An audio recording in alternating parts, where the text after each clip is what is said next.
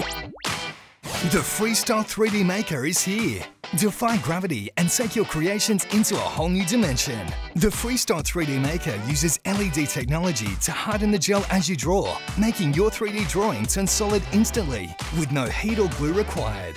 These creative geniuses came into Nick HQ to check it out. We got to play with the Freestyle 3D Maker. It's really fun to use. First, pick which colour you want to draw with. Load the gel into the pen, Squeeze the handle so the gel starts to come out.